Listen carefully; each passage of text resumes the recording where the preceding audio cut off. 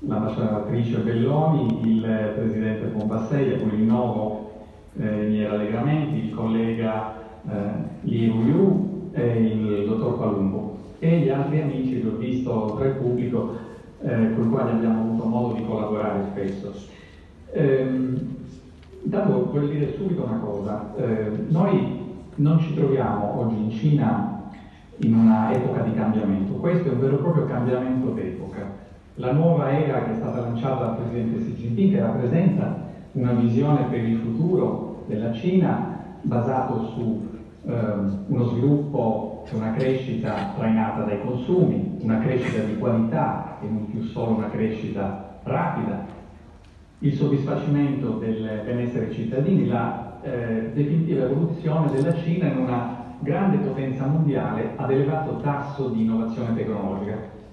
Questo è decisamente un cambiamento d'epoca che, eh, secondo la leadership cinese, ehm, mira a raggiungere tre obiettivi che sono dichiarati. Nel, 21, nel, 1900, nel 2021, che è l'anno del centenario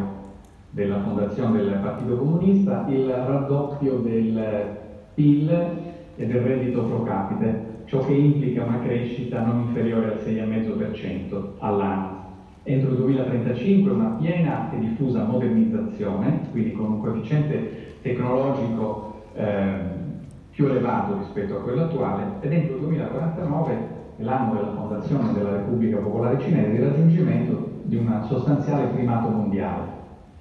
Allora, queste premesse sono essenziali per comprendere esattamente dove si sta dirigendo la Cina e eh, per poter intercettare le opportunità che questi cambiamenti, che questo cambiamento d'epoca offre all'Italia e alle nostre imprese. Qualcuno parla di globalizzazione 2.0 con caratteristiche cinesi. Certamente, se questo è il caso, abbiamo due strumenti che sono stati già menzionati. Uno è Belt and Road,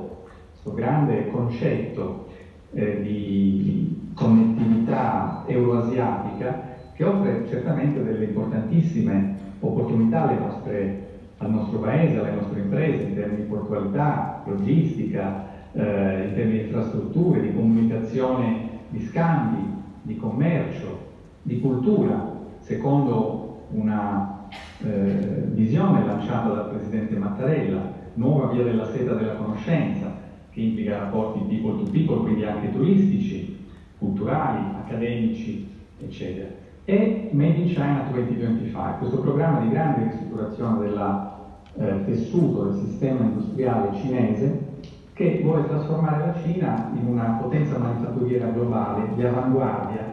aprendo tra l'altro alle nostre imprese le opportunità di collaborazione soprattutto nel settore della meccanica. Ehm, entrambi questi strumenti ci danno occasioni di collaborazione, di partnership reciprocamente vantaggiosi. Voglio ricordare che proprio oggi Piaggio ha eh, finalizzato eh, un accordo ehm, che era già stato sottoscritto di sviluppo e produzione di una gamma di veicoli commerciali insieme al gigante del eh, più grande produttore di veicoli eh, cinese che è Photon. Eh, oggi le parole chiave in questo cambiamento sono qualità e innovazione esattamente delle parole chiave che dipingono il sistema produttivo italiano. E questo cambiamento naturalmente intercetta eh, le esigenze di una classe media che secondo la World Bank eh, sarà eh, di circa di quasi un miliardo di persone nel 2030 che aspirano a una migliore qualità della vita, a un ambiente più salubre, standard elevati di assistenza sanitaria, educazione, di sicurezza alimentare, pianificazione urbana, tempo libero, di cui importantissimo richiamo al turismo. Per inciso, il numero di visti che sono stati rilasciati l'anno scorso sono saliti del 15% rispetto al 2016 e nei primi 5 mesi abbiamo addirittura un più 30%. Ora, dinanzi a questo contesto eh, così dinamico, eh, è chiaro che il nostro approccio non può che essere eh, sempre più moderno, deve essere più organizzato e certamente rapido nel cogliere queste opportunità. Eh, bisogna eh, dire, rafforzare l'impegno congiunto di istituzioni e imprese ed è esattamente quello che eh, il Ministero degli Esteri sta facendo.